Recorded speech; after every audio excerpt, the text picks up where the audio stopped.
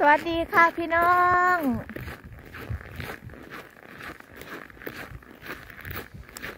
ตอนนี้ก็สองทุ่มกว่า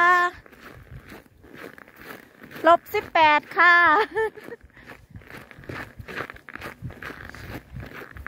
เมื่อวานยังสององศาอยู่เลย มื่อนี้ลบสิบแปดแล้ว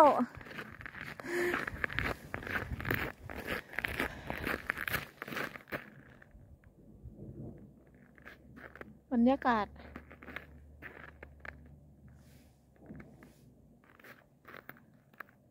อันนี้เป็นไซเว่นเก้าค่ะ เขาเอิ้นอาราเกียวสกี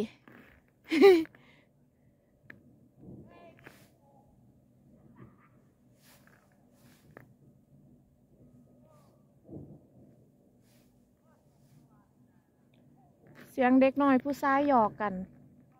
อยู่เทิงกองหิมะอยู่หนาห่าง อันนั้นสุสานค่ะ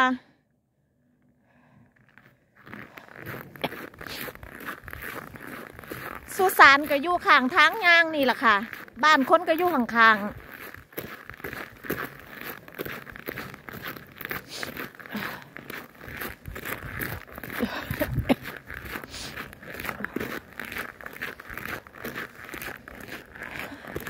โอ๊ยปวดแขน ยกขางนี่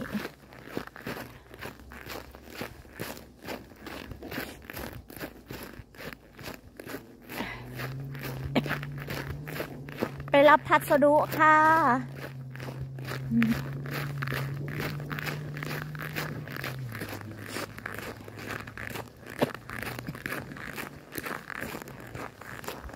มือนี้เลิกงาน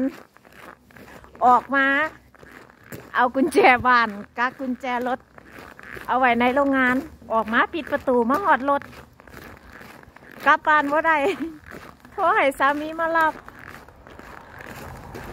เดี๋ยวมืออื่นใครเพิ่นไปส่งที่เหตุงาน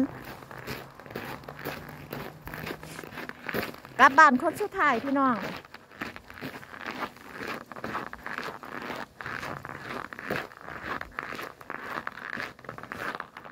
ถึงหางแล้วซ้ำนี้เด้อค่ะ